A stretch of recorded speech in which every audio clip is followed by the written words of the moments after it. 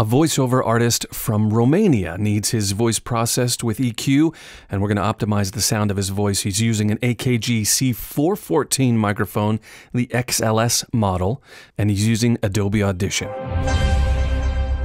His name is Cătălin Popescu, and I only know how to pronounce that because he actually says his name in the audio uh, file that he submitted.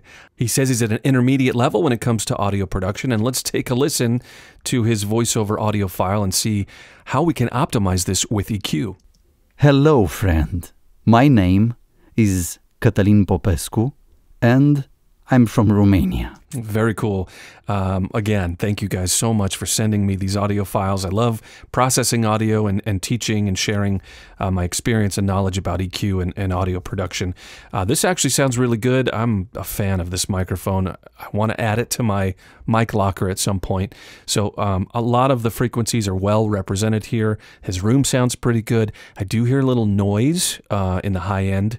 Um, and I'm wondering, it sounds like an electronic noise in, in part of his equipment. He does not state what uh, preamp or interface he's using, so I really can't uh, give any suggestions, but there must be some type of connection issue we've got going on. But we could still deal with it. Before we get started, uh, I just want you to know you can send me your voiceover for EQ processing uh, and the quality improvement suggestions I could make. I'm happy to do it. Uh, and you can see how I, I apply EQ on a voiceover to, to, see if it can optimize your voice in your recording space on your mic. Um, if you're just getting started with EQ, I've got a free training course you can get by following the link in the description as well. Uh, all right, let's take a listen and uh, kind of walk through what we do here with uh, EQ. Hello, friend. My name is Cătălin all right, the first thing I'm going to do is get rid of some of the low energy, which is the sub bass sound that's happening before. His voice starts here, and anything lower uh, is just noise that we don't need. Hello, friend. My name. So you still hear the bass. We just got rid of this uh, um, extra energy that the microphone is picking up because it's very sensitive. A couple reasons for that because this could mess up mm, some compression processing further down the, the road if you get into that. But it's always a good idea to get rid of that stuff first. Hello, friend. My name is Cătălin Popescu. And we're going to find the first, um, the first uh, frequency dominant fundamental here. Hello, friend. My name is Cătălin Popescu and it's around there somewhere. I'm going to even that out to be more equal with the uh, rest of the frequency space. Hello, friend. My name is Cătălin Popescu, and I'm from Romania.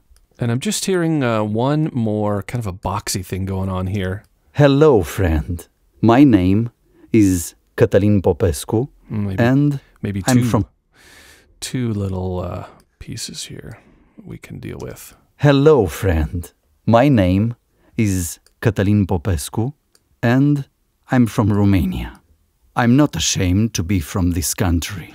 Now we've we've um, evened out these uh, resonance peaks so they're more even with the rest of the voice frequencies, and it gives you a, a big, wide, equally represented frequency space uh, for the voice, which in turn is just is more pleasing when you're listening to it. So I think this is an improvement.